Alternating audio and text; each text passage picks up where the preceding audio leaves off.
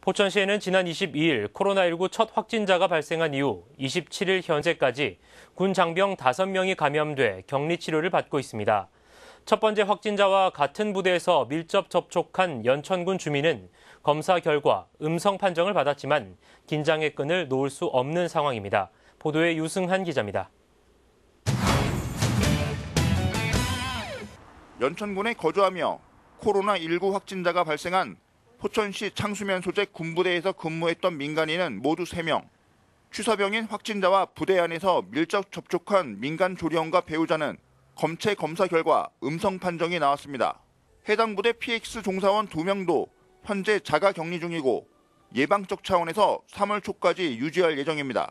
연천군은 1대1 전담 공무원을 배치해 수시로 동향을 파악하고 있습니다. 아침 저녁으로 증상 있는지 어, 전화로 유선상으로 확인하고 있고요. 혹시나 뭐 자가 격리를 하시니까 그런 슈퍼나 이런 데 자주 못 돌아다니시니까 저희가 대신해가지고 그 1대1 전담 공무원이 가서 대신 물건 같은 거 사다 주시고 그리고 부시에도 방문하셔가지고 계신가 확인도 하고 있어요. 한편 포천시의 코로나19 확진자는 지난 14일 동두천 소유산역을 경유해 연천군 전고구까지 버스로 이동한 뒤 부대 차량으로 복귀했습니다. 이날 확진 병사가 다녀간 전거급 소재 패스트푸드점과 PC방은 일시적 폐쇄와 집중 소독을 실시했습니다. 하지만 지역사회 전파 가능성은 아직 안심하기 이릅니다.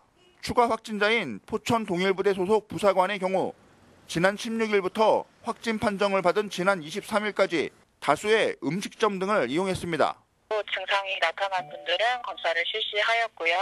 검사 실시 결과 지금 4명 정도가 지금 음성 판정이 나왔고 나머지 분들은 아직 증상이 없으세요. 연천군은 이동 동선을 따라 소독 등 방역 활동을 진행한 상태지만 지역사회 전파 등 만일의 사태에 대비해 행정력을 집중하고 있습니다. 드라이브 서울 경기 케이블 TV 유소환입니다.